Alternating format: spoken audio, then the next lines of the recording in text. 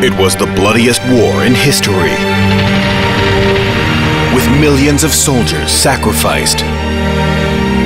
But there were a few who defied death, using exclusive first person testimonies and never seen before footage. We recreate the most daring escapes of World War II in times of war every Monday night at 11 on the National Geographic Channel.